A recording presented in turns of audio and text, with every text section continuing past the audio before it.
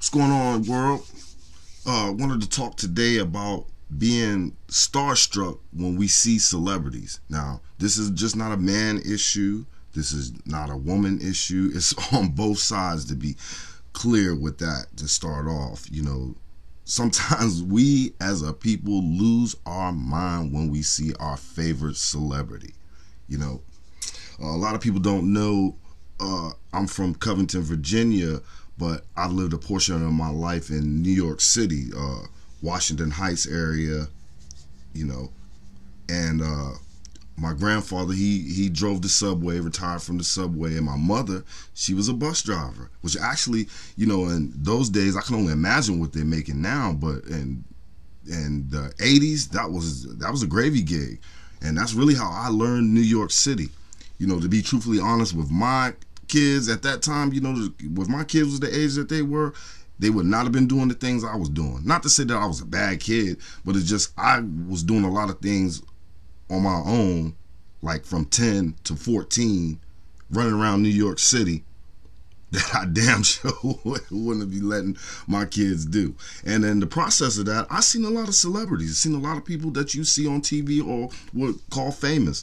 So, you know, It's kind of you've seen so many celebrities that you you know you can become starstruck and i'm not saying i'm having my moments we'll get to that. But you know i've seen my fair share of celebrities so it really doesn't bother me as much when i see one you know uh, you can tell that some people joe just if they see their favorite person they just lose their minds you know. And it's one of those things that golly we can be it can be the smartest person the that you know. They see that one person that they that's their idol or their star, their favorite celebrity, all out the window.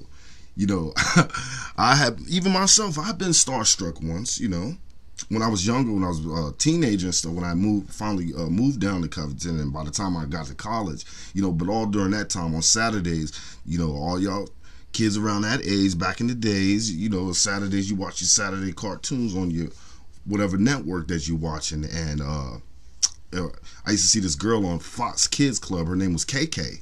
You know what I'm saying? Fox Kids Club on KK. So fast forward to college, and I was in college, you know, and uh, I'm eating lunch in the cafeteria, and lo and behold, KK goes to the school that I was at. And she wanted to come sit and have lunch with me. Man, I was like, wow, you KK from Fox Kids Club. So for two seconds, I was your boy was starstruck. I was like, wow, I can't believe this. I was Google out for a second, two minutes though. You know what I mean? Your boy don't go out like that. But uh, anyway, you know, it just goes to show you, even even me, you know, for a brief second, you know, you run into somebody that you've been seeing on TV and you become familiar with, you may become starstruck. you know, they had the homecoming that same year. Uh, one of my girls from my hometown, Cove, uh, Nikki, uh, we ain't gonna say her last name is. Uh, people that don't know, they, uh, they have Biz Markie. Biz Markie came for the homecoming, you know, and for a lot of people from uh, Covington at that time, you know, this for the internet and all that good stuff. You know, uh, Covington get the information last or whatever the latest trend is. They was get it filtered at us last. So seeing a celebrity probably was a real big thing for uh, uh, people in Covington, cause hell, but hey, Covington had Menudo, shit, eighty eight. Dance Party USA, Covington, Virginia, represent, stand up. You know what I'm saying? but anyway, uh, they come to homecoming and Biz Markie was a DJ then. He was on the circuit as a DJ. And when uh, Nikki walked into that club and seen Biz Markie and live in the flesh, this lady lost her mind. she was hooting and hollering when she seen him, you know. So you know, it happens to the best of us, you know what I'm saying? The where you see your favorite celebrity and you may become starstruck and just lose your ever loving mind. You know, but we all have seen somebody we uh, been in awe of of their beauty. You know what I'm saying? As men, you've seen a, a girl before that you just left you speechless. I can remember one time I was a manager at KFC, you know, and it was busy time this beautiful broad walked up. I lost all sense of thought and talk. I couldn't even speak for a second there, for a couple seconds.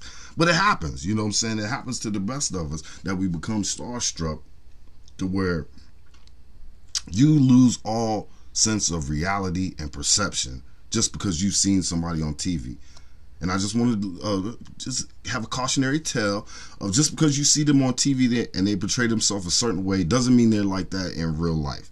So keep that in mind uh, about your favorite celebrities. A lot of people find out that their favorite celebrities are assholes anyway. You know what I'm saying? Especially if you've been waiting out in uh, line for about four hours to see your get a glimpse of your favorite celebrity, and they just walk past you, don't say nothing, or say something rude to you, and you mean like, damn.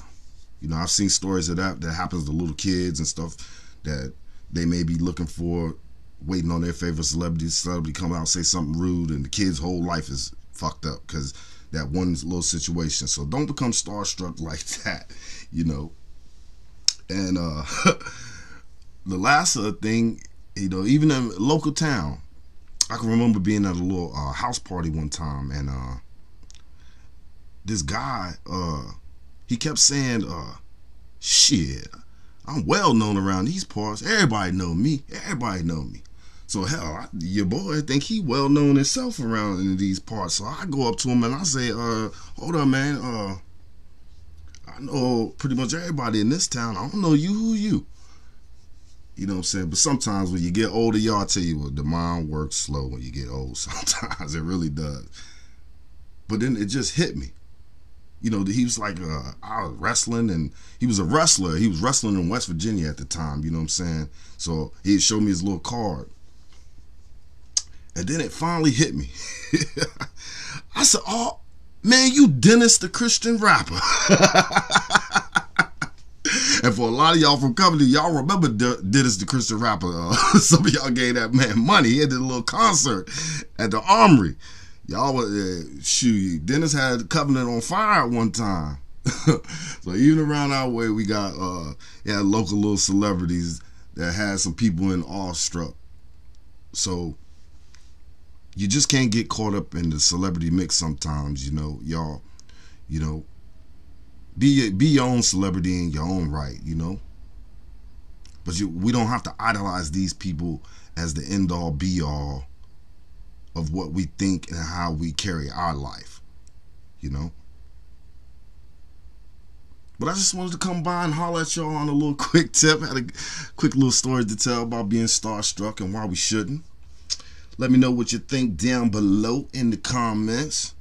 And as always, I'll get back with you. Peace.